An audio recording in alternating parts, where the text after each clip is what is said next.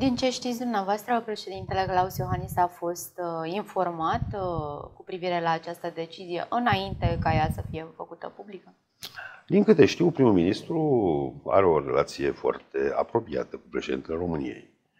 Uh, nu am o informație de la cei doi, însă practica relației dintre ei este că primul ministru îl informează în legătură cu măsurile importante pe care urmează să le ia.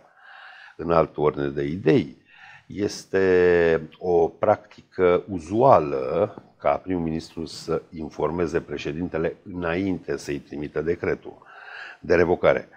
Pentru că formal ă, procedura este primul ministru propune, președintele revocă. Da, nu se practică la modul că primești e mail sau faxul sau curierul diplomatic. Și te gândești apoi ce Și nu, nu, faci. îl, îl trimiți la președinte, președintele se trezește cu hârtia pe masă și întreabă, alo, Surprins. domnul prim-ministru, domnule, ce s-a întâmplat? De regulă există niște tatonări prealabile, de regulă prim-ministru îl sună pe președinte și îl informează, îi spune, domnul ministru, mă gândesc să, Sau îi cere o părere? poate chiar să-i ceară o părere.